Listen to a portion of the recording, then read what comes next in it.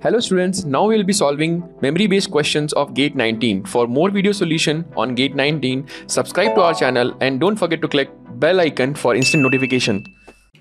Hello students, this is Aishwaresh.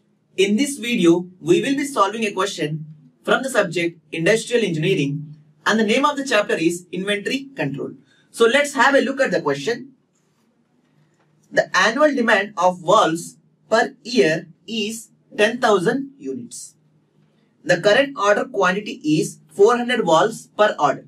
So here the given data has been written. So the annual demand they are saying that it is 10,000 units or 10,000 valves and the current ordering quantity is 400 valves per order. The holding cost is rupees 24 per valve per year. So holding cost or carrying cost both are same. So it is given as rupees 24 per unit per year or you can say it is per wall per year. And the ordering cost is rupees 400 per order. So ordering cost also they have given in the question which is 400 rupees per order. So if the current order quantity is changed to EOQ, then the saving in the total cost of the inventory per year will be dash rupees. now they are asking us what will be the saving in the total cost if we order EOQ instead of this quantity. Okay. So now you are ordering 400 valves per order, right? So your annual demand is 10,000 units, right? So you are ordering 400 valves per order. Now for this particular quantity, there will be some amount of total inventory cost, right?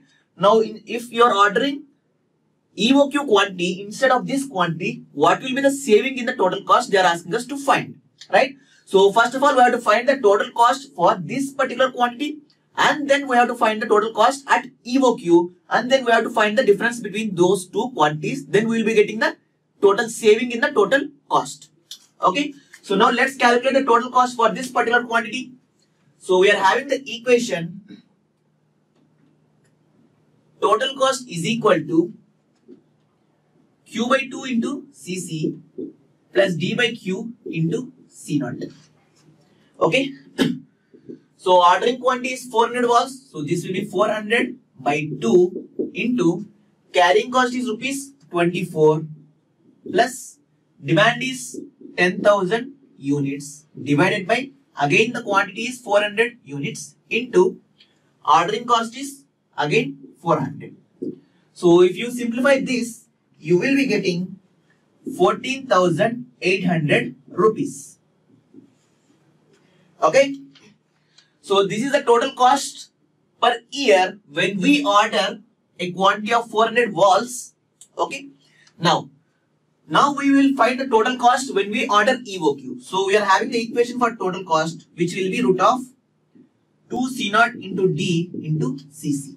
So we are having all the values. So substitute these values in the equation. So 2 into ordering cost is 400 into demand is 10,000 units into carrying cost is 24.